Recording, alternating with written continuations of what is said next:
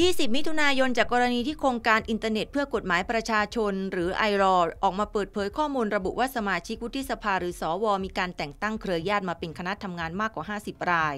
จนถูกวิพากษ์วิจารณ์ว่าไม่เหมาะสมนั้น นายพรเพชรวิชิตชนชัยประธานวุฒิสภาได้กล่าวถึงกรณีนี้ว่าต้นขอย้อนไปช่วงตอนที่ยังไม่มีสสและสว แต่เรามีสภานิติบัญญัติแห่งชาติหรือสอนช ซึ่งขณะนั้นทางเจ้าหน้าที่เสนอว่าสนชหนึ่งคน สามารถมีคณะทำงานได้ 8ตำแหน่ง ตนจึงบอกว่า 8 ตำแหน่งนั้นมากไป จึงทำให้เหลือแค่ 5 ตำแหน่ง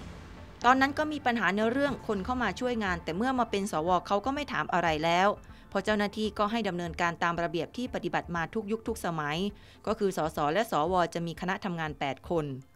นายพรเพชรกล่าวถึงกรณีที่มีการวิพากษ์วิจารณ์เรื่องความเหมาะสมในการแต่งตั้งเครือญาติเข้ามาเป็นคณะทำงานว่า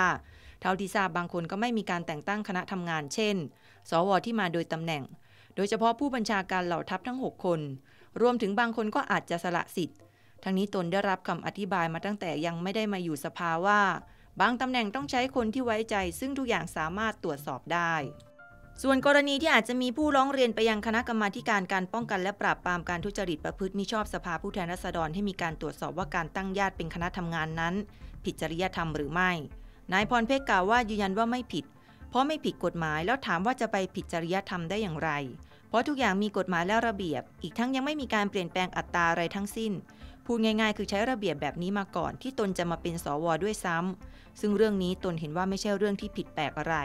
เนื่องจากมีทั้งสสและสวบางคน มีความประสงค์จะใช้คนที่เขาไว้ใจ ซึ่งตนก็ได้รับคำตอบเพียงแค่นี้ เพราะไม่ได้มีหน้าที่ที่จะไปสอบถามเขา ดูคลิปจบแล้วอย่าลืมกดติดตาม และสมัครสมาชิก YouTube มติชนทีวีเพียงแค่สแกน QR Code ได้เลยครับ